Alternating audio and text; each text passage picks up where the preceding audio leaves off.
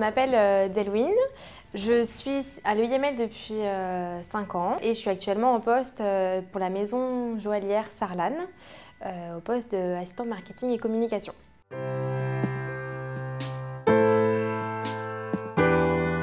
Ma vision de la rareté, c'est c'est la rareté dans la distribution, la rareté dans la production, la recherche de matières euh, uniques et, euh, et la rareté euh, au terme d'exclusivité, avec les éditions limitées, avec les pièces uniques que les créateurs font sur demande.